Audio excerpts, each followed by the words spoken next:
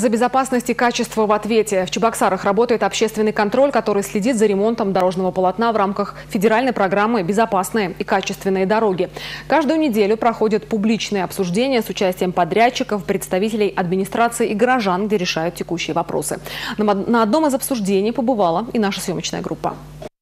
Проехать и не попасть в яму или на кочку. Такая общая задача стояла перед автовладельцами и велосипедистами. Дорога по социалистической улице ремонта требовала давно и, наконец, дождалась. Здесь заменили полото по программе «Безопасные и качественные дороги».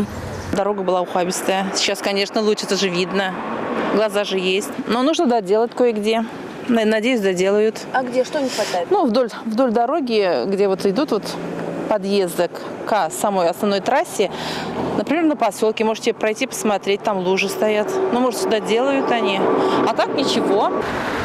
Доделать работу подрядчику придется. Общественный контроль не дремлет. Еще один недочет – не заасфальтированные люки колодцев.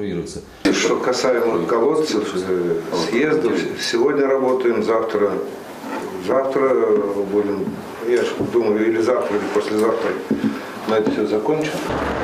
Общественники прошлись и по другим объектам. На улице Петрова лежачий полицейский высотой с трамплин. А вот на Гагарина медленно укладывают бордюрные камни. Подрядчики обещали исправить все замечания. Народная комиссия работает уже полтора месяца. В ее составе 19 человек был проведен ну, некий такой ликбез, потому что не все из них э, имеют соответствующий опыт знания образования. Вывезли на объект, рассказали о технологиях, о применяемых материалах. Ну, в общем, чтобы уже с ними разговаривать на одном языке.